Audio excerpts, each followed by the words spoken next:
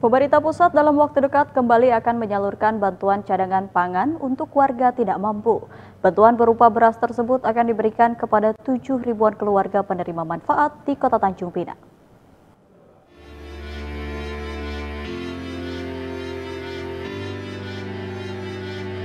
Badan Urusan Logistik Cabang Tanjung Pinang akan segera menyalurkan ribuan paket beras kepada keluarga penerima manfaat di Kota Tanjung Pinang.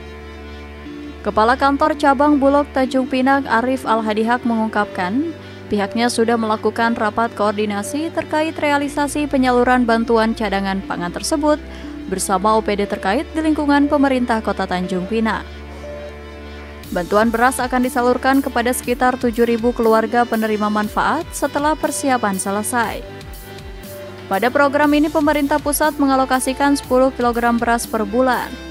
Untuk penerima manfaat di Tanjung Pinang, masing-masing akan mendapat 30 kg, akumulasi dari bantuan periode bulan April, Mei, dan Juni. Lagi sama Dinas Ketahanan Pangan Kota, Bapak Litbang dan Insos dalam tahap tahap persiapan mungkin ya insya Allah secepatnya sudah bisa disalurkan yang Pinang ya berapa Pak untuk disalurkan? Kalau untuk kota Pinang ada 7.350 APM gitu. masing-masing terima berapa? 10 kilo 10 kilo Tetap, masih kayak uh, kemarin ya Pak ya?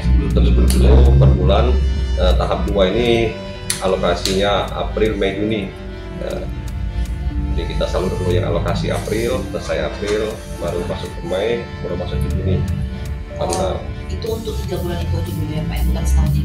bukan itu penugasannya sampai dengan tiga bulan itu kira-kira kapan Pak mau lagi? Ah, kita masih menunggu lagi jadwal nanti soalnya secepatnya dalam minggu ini kita upayakan bisa salur yang Pinang Itu itu masuk dari stok kita yang di gudang sampingnya Pak Oke, ya betul Betul. Program bantuan cadangan pangan diharapkan dapat segera disalurkan guna mengurangi beban ekonomi warga di tengah tingginya harga beras saat ini.